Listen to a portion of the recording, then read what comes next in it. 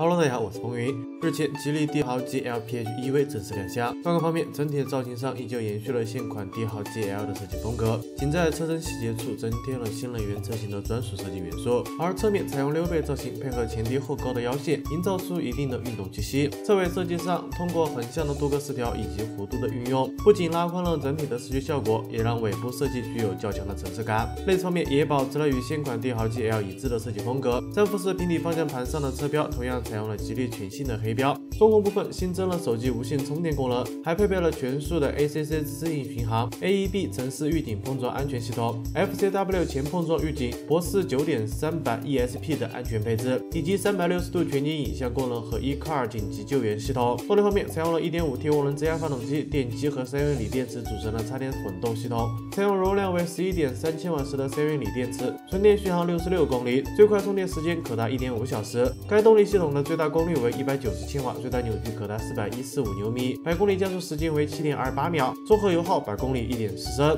据了解，该车将于今年第二季度上市销售，喜欢的不要错过了哦。有国内媒体曝光了一组猎豹旗下全新 SUV 车型的最新谍照。通过谍照来看，新车前脸采用了当下流行的分体式前大灯组，其中下方灯组与大尺寸的盾形前格栅巧妙的融为一体，使前脸看上去极为夸张。侧面采用了跨界轿跑 SUV 的车身形式，配合微微隆起的轮眉线条，使其看上去十分年轻。尾部方面，新车线条较为复杂，内凹式的设计配合 C 字形的尾灯组，预计点亮后辨识度较高。内饰方面，回顾此前的谍照来看，整体采用了黑色为主色调，并在手扶箱处加入了红色元素进行点缀，整体看上去较为年轻。细节方面，还采用了大尺寸的液晶中控屏以及三辐式的多功能方向盘等设计。而关于该车的更多信息，暂时还没有消息，感兴趣的可以关注一下。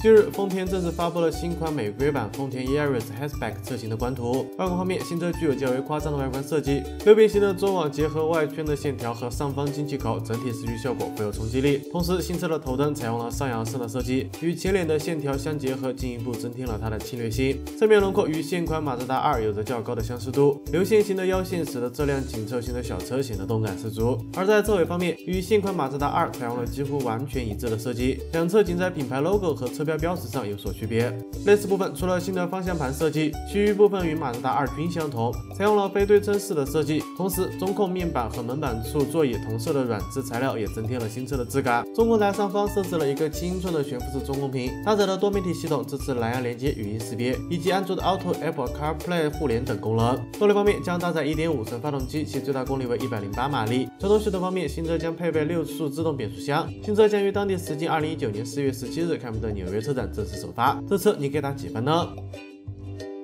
奇瑞汽车官方正式发布了旗下中型 SUV 新款瑞虎8的官图。外观上，新车整体维持了现款车型的主体设计，细节上换装了全新的前格栅造型，内部则加入了点阵式镀铬装饰进行点缀，配合夸张的雾灯造型以及倒梯形的进气口，让新车看上去更具运动气息。同时，其大灯组内部配备了多腔反射式 LED 自动大灯以及高能动态转向灯，预计能够带来出色的照明效果。正面来看，其继续延续了现款车型的虎踞式 HDS 灵性动感水流。车身造型配合十八英寸双五辐式轮圈，让新车十分年轻动感。尾部方面采用了当下流行的贯穿式尾灯组，同时其尾灯组内部则采用了祥瑞回纹 LED 造型，并进行了熏黑处理，视觉效果突出。车身尺寸方面，新车车身高为四七零零幺八六零幺七四六毫米，轴距为二七幺零毫米。动力方面配备来自奇瑞的第三代一点六 T GDI 发动机，其最大功率为一百九十七马力，峰值扭矩为二百九十牛米。传动方面将搭载来自格特拉克七速湿式双离合变速箱，使新车油耗仅为百公里七点四升，这车你喜欢不？华晨宝马官方正式发布了旗下中型车全新一代三系长轴距版车型的内饰官图。可以看到，在中控部分，其空调出风口以及实体控制按键区域相比现款车型均有所下沉，为上方的大尺寸悬浮式中控液晶屏留下更大的空间。还可以看到，官方在该车后排空调出风口处增加了两个 USB 充电接口以及座椅加热等实用配置，配合全新航空头枕全景天窗以及能随驾驶情景进行变换的动态情景提示氛围灯，让后排乘客得到充分的放松。值得注意的是，该车还将成为中国市场首款搭载 BMW 智能个人助理的车型。外观上基本延续了豪华版全新三系标准轴距版车型的设计风格，采用了全新的前大灯组造型，内部有 L 型的日间行车灯带勾勒出全新的天使眼造型，相比现款车型更加犀利凶悍。同时，标志性的双肾格栅也变得更加宽大，并用了一体式的亮黑色镀铬装饰，侧面比例依旧协调，线条舒展而流畅。而侧尾部分采用了平直锋利的尾灯组轮廓，内部 L 型的红色灯带营造出出了凌厉的视觉效果。在尺寸方面，车控高分别为四八二九、幺八二七、幺四六三毫米，轴距为二九六幺毫米。动力方面，搭载的是新款 B 系列的二点零 T 发动机，其最大功率与现款三二零 iLi 同为一百八十四马力，但尾标已经变为了三二五 Li。动力方面，与之匹配的依旧是八速手自一体变速箱。新的华晨宝马三系标准轴距版以及长轴距版将在四月十六日开幕的上海车展中正式与广大国内消费者见面，喜欢的不要错过喽！好了，以上就是本期视频的全部内容了，关注微姐，每天都有新内容，我们下期视频再见喽！